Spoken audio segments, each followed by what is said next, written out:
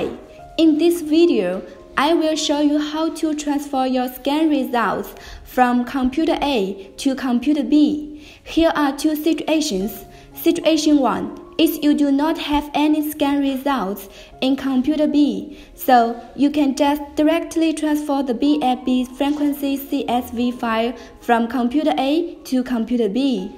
Here is the file I copied from computer A, which includes your scan results. So I choose it and press Ctrl C to copy it.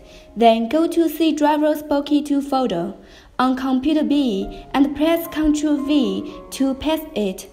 Please choose Replace the files in the destination. Let's go back to the software and click Refresh Database. The software is reading frequencies now.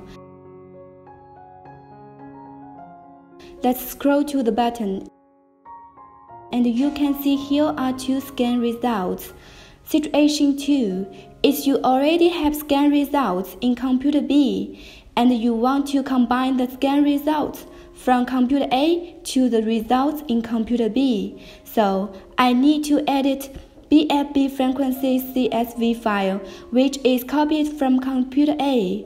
I can only open it with Notebook, so I right click and choose Open with Notebook.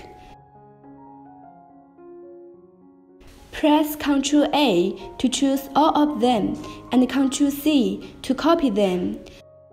Then go to the Spooky2 file and open this file with Notebook 2. We paste the contents at the end.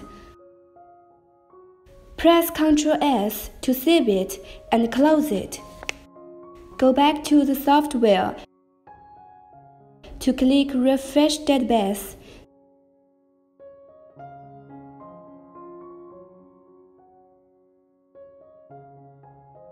Now you can see here are the newly added scan results. Okay, thanks for watching this video.